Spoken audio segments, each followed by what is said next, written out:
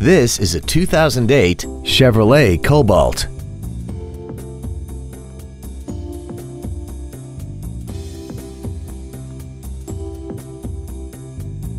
Features include air conditioning, a rear window defroster, speed-sensitive wipers, tinted glass, dusk-sensing headlights, side curtain airbags, and this vehicle has less than 40,000 miles.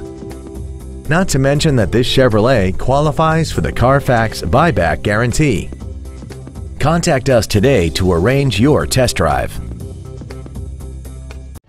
Sunrise on the Pike is located at 1800 Covington Pike in Memphis. Our goal is to exceed all of your expectations to ensure that you'll return for future visits.